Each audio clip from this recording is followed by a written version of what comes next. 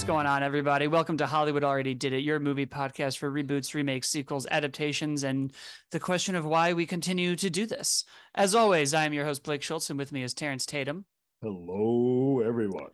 And this week sees the release of A Quiet Place Day One, the prequel after a cliffhanger to the Quiet Place franchise, which is quickly becoming, if not one of the best, the most consistently good horror franchises out at the moment.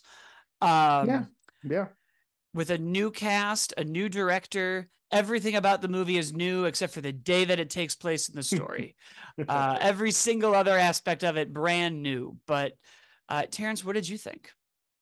Um, yeah, you're right. This is becoming. I think Scream might be my other, but like like the franchise that like you each time. I, I I enjoy this, but at least I think with Scream, people do point to one of them being bad. Like Scream Three is like a bad one for most some people. I still enjoy it. This one, I you know what's crazy about the Quiet Place franchise is that when it comes down to the films, when you think about them when they're all said and done, the alien aspect is probably the least interesting piece of these movies. Um, these are big character studies. These are lot, each each of these films have been like character pieces. It's the family with their kids and, and dealing with the loss and how they have to sort of kind of come together and be be one without that. Second one without the father, and this one is a lot with Lupita's character just being this person who is kind of shut off life.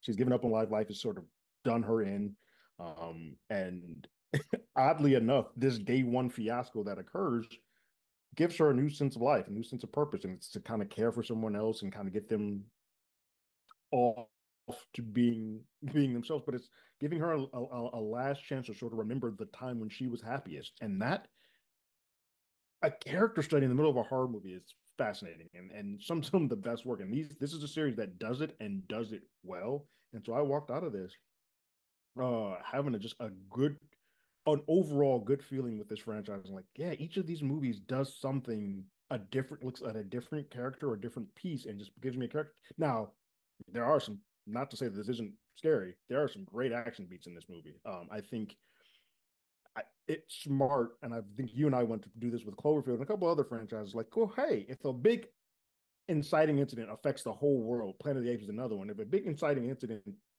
affects the whole world, let's not just stay with one city or just stay with not one person. This one decides, let's go look at New York, and uh, that's a fun thing because the, New York is massive and loud all the time.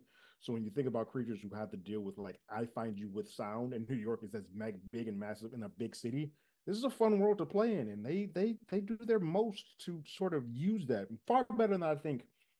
Uh, Scream, Scream, the last Scream that was in New York. I feel like this this one uses the city better than that one using. In fact, uh, doing the the sewer and the, the water and like that whole sequence and just the glass buildings. It's just it uses the city, and that city becomes a piece of this world too. And I think it's a cool thing to be away from the rural area that we were in the first two to kind of be in this big world and just see it. But all at the end of the day, it still comes back down to the characters, uh, which is a testament to these films.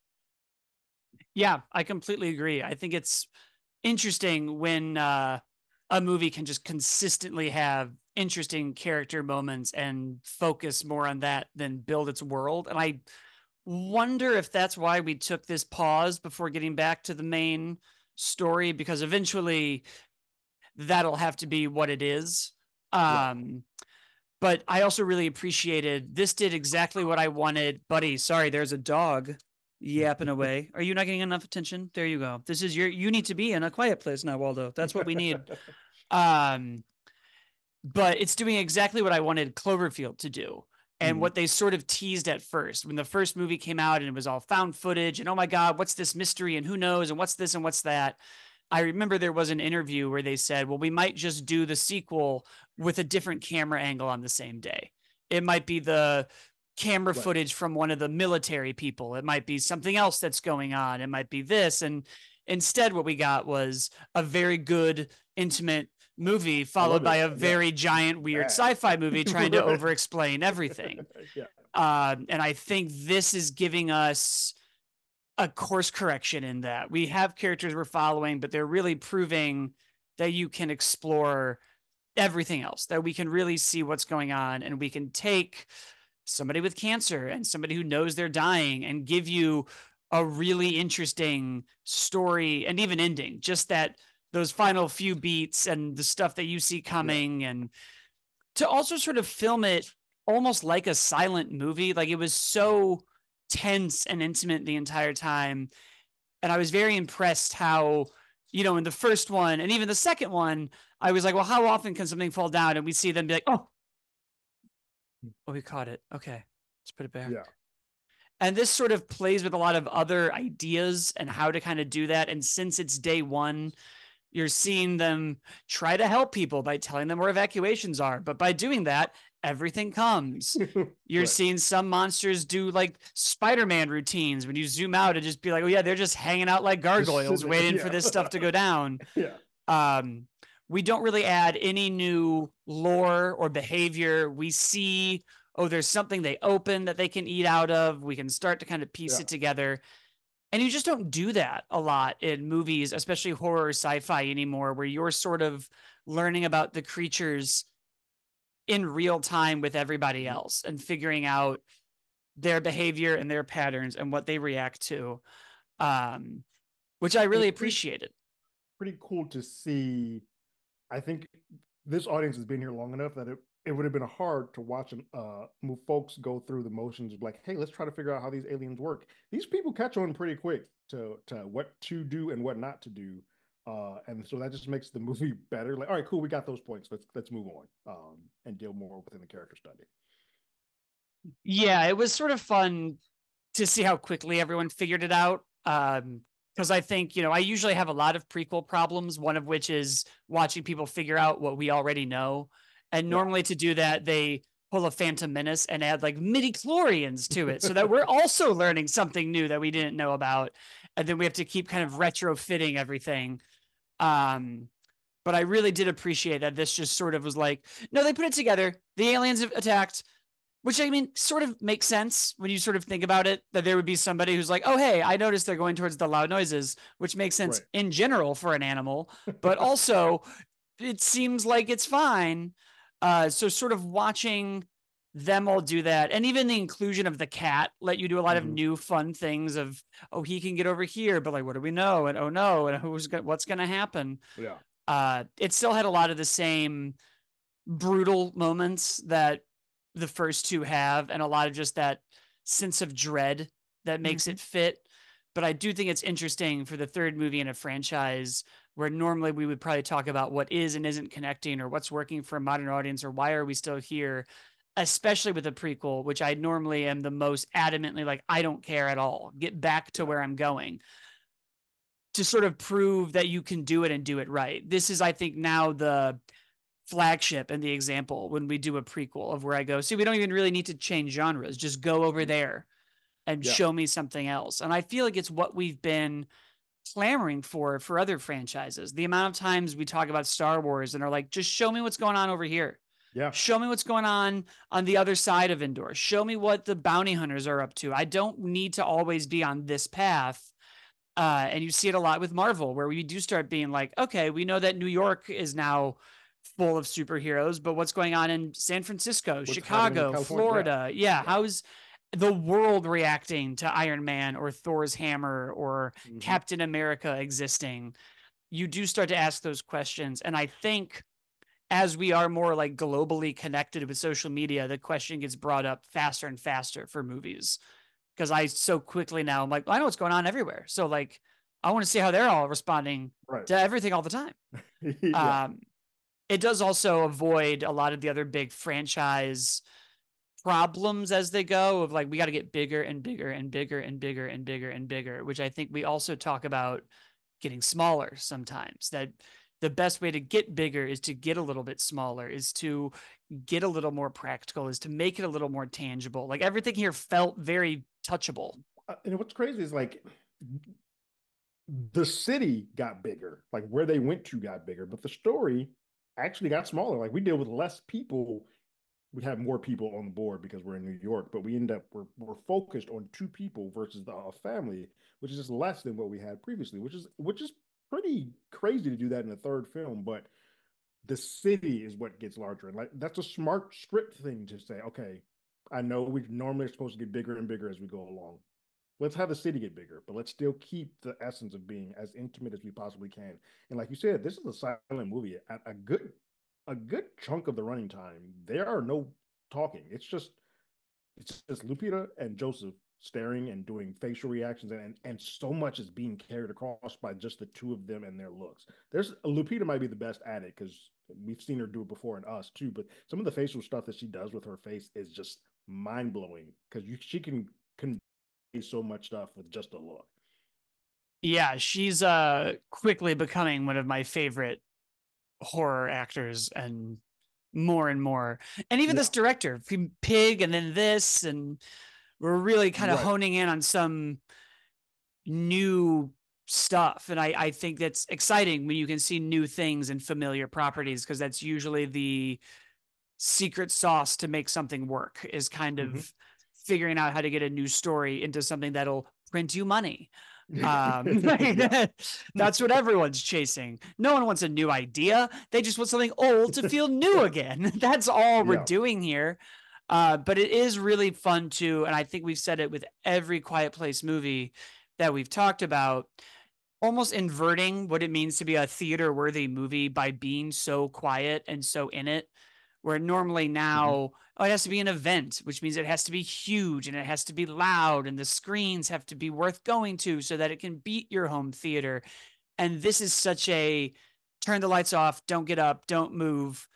You're mm-hmm. so in it and that experience that shared experience with everybody else too really harkens back to why it was fun to see horror movies in theaters of other people kind of like freaking out at different moments yeah um so i think that's always fun and i think I that's thought about like i usually go to i typically now go to the movies early in the morning because i have a kid now so i used to like all right the best time for me to like knock this out early or super late but my horror movies are those ones where I was like, I still need to see these with an audience because this is one of those last genres that's community experience. And like you said, getting those interactions of stuff like stuff that I wasn't jumping at, but someone else too was like, oh, they nailed that. Like that worked. That worked.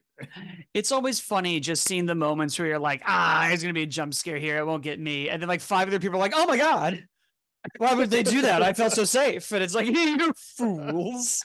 Um, yeah. Yeah. And I mean, it's it's wild to sort of see a summer that started with oh no everything's over and the world is collapsing because Fall Guy did not do well and neither did Tarot or uh, something else that underperformed that I don't remember anymore and now a day a rec- franchise record breaking for its opening two days. It'll probably beat Inside yeah. Out 2, which means Inside Out 2 was still making a boatload of money. A ton of money.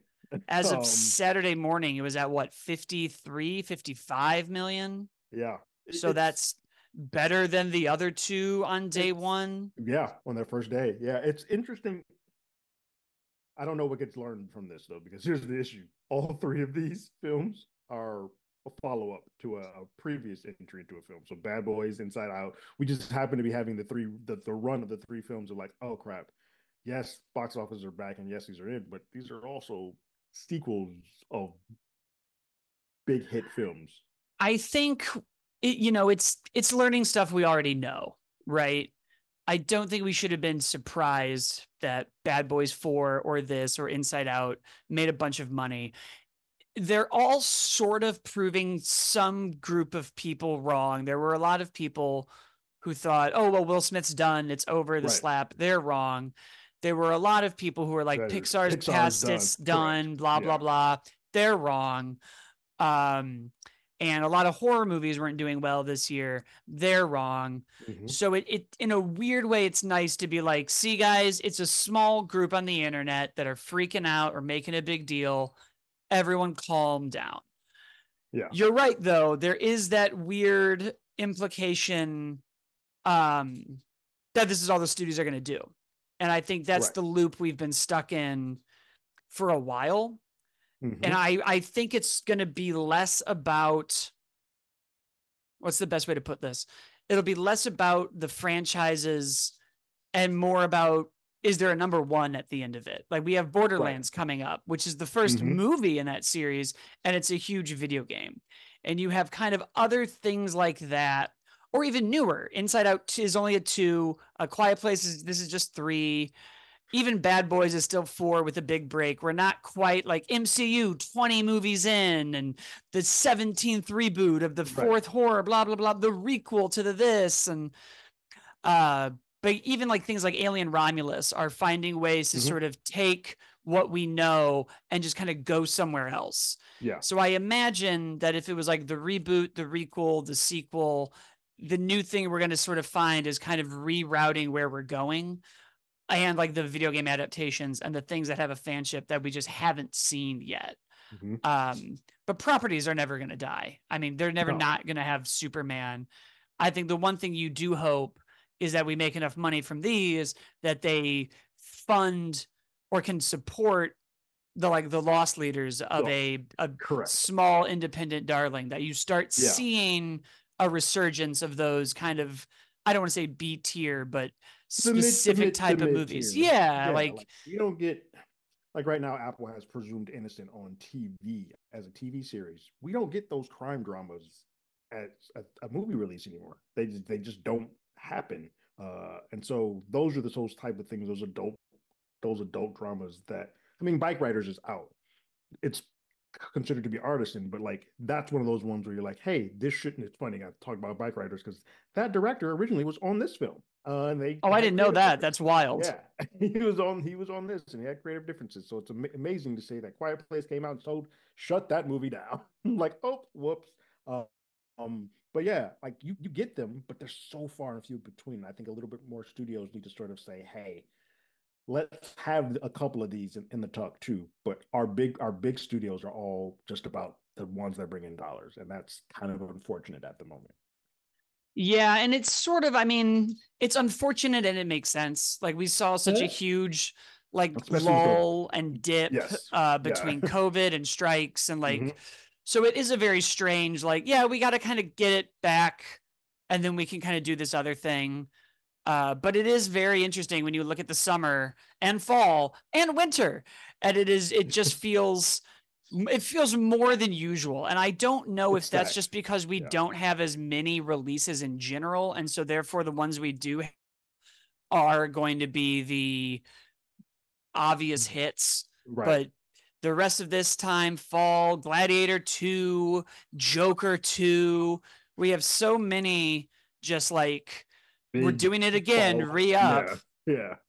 That um I mean they're definitely gonna learn the wrong lessons, but hopefully what they do also learn is that time can sometimes be a friend. Like it, it was mm-hmm. five years before between bad boys. It was what a eight, ten between inside outs. Yeah. Um even a quiet place two was like 2021.